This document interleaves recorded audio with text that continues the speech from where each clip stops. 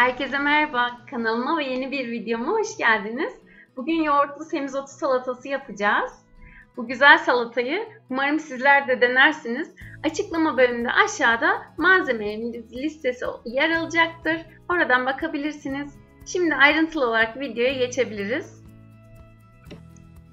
Evet şimdi yapım aşamasına geçiyorum. Gördüğünüz gibi semizotlarımızı yıkadım güzelce. Bu büyüklükte olması yeterli. Doğruyorum.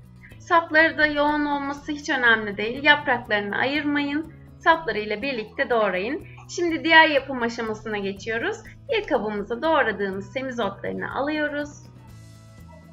Evet böyle. Üzerine yoğurt döküyorum.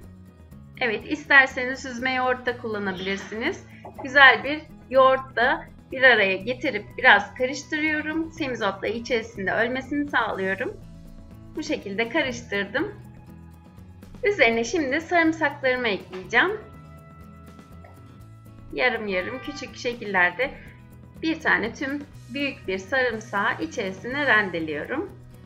Yani rendelenmiş şekilde çekiyorum. İsterseniz rendeleyebilirsiniz. İnce şekilde böyle rendelenmiş kıvamda oldu. Şimdi üzerine de tuzumuzu ekleyelim. Evet tuzumuzu da ekledim ve güzelce karıştırıyorum. Semizotları, sarımsak, yoğurt hep beraber böyle güzel bir aroma verecektir. Tadı çok güzel oluyor. Dediğim gibi süzme yoğurt da kullanabilirsiniz. Hiç fark etmez. Evinizde hangi yoğurt varsa hepsi olur. Bu şekilde güzelce içerisine sarımsağını ezmiş oldum. Aromasını çıkarttık. Şimdi servis aşamasına geçiyorum. Bir servis tabağımıza yoğurtlu karışımımızı alıyoruz. Şimdi üzerinde servis aşamasında kullanacağımız şeyleri göstereceğim. Evet servis tabağını aldım. İyice şöyle tabağa yayalım.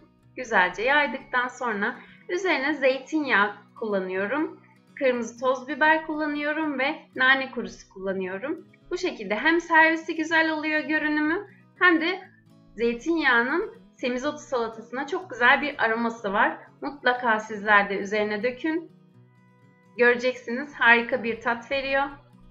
Bu şekilde üzerine zeytinyağını gezdirdim. Kırmızı toz biber kullandım. İsterseniz pul biber, acı biber de kullanabilirsiniz.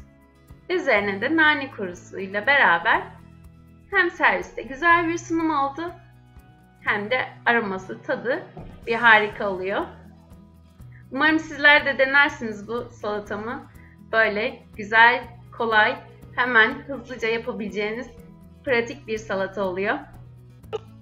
Evet videomu beğendiyseniz kanalıma destek olmak için lütfen abone olup zil butonunu açarsanız diğer videolarımdan da haberdar olursunuz. Eğer videomu da beğenirseniz çok sevinirim. Bir sonraki videoda görüşmek üzere. Hoşçakalın.